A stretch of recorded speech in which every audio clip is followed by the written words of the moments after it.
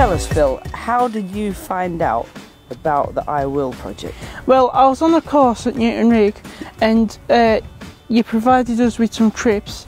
Uh, so I enjoyed the trips that I went on to like Glenridding and uh, Tebay services. That's it, you came volunteering with us, didn't you? Yeah. Yeah. Uh, so it made me think that I wanted to do like a week of the summer camp.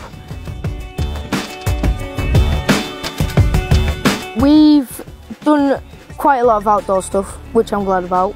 We've done canoeing, um, we've done rock jumping, and we've been climbing up fells and all that. So it's been really good, really sporty and outdoorsy. It's been good for everyone. Everyone's loved it and enjoyed it. What have you really enjoyed and got out of being here? Um, well, I like the canoeing, Yeah. and I know the uh, is it Halley Hallin Fell. Hallin Fell. Uh, it was a bit difficult, like with the weather and that sort of thing. But I got used to it. I've discovered all around Ullswater, all like the beautiful sights and what you can do there. We've done loads of canoeing, which I haven't really done before together, and I also haven't done cliff jumping. That was really fun. I, I like that a lot.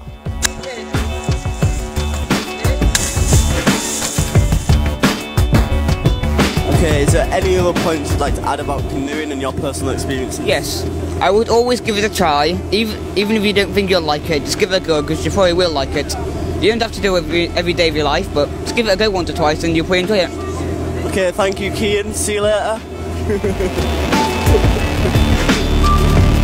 So we've also been doing some surveys about plastics and how plastic should change and like be used in different ways.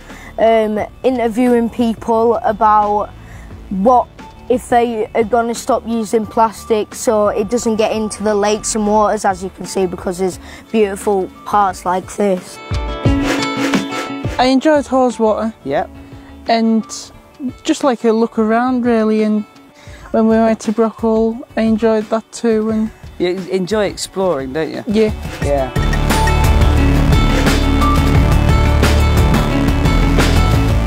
We, yesterday when we went with Paul and Mark, we cut down trees, like branches, and helped move them. So it's more of a good environment. Like it's got more space and more like room just to do more things. And what what are you gonna do after this? Uh, What's your plan for the future, Phil? well, I'll be looking for a job, but I'll want like a voluntary job, like placement with Eden Rivers Trust if possible. So Excellent. So you'd like to come back and do some more volunteering with us? yeah, That would be really good.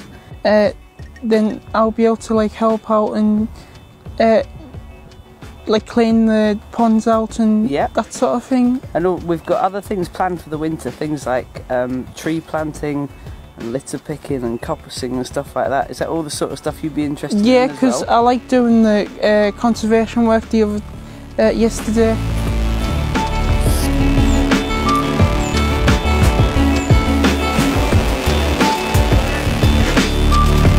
Everyone's enjoyed it.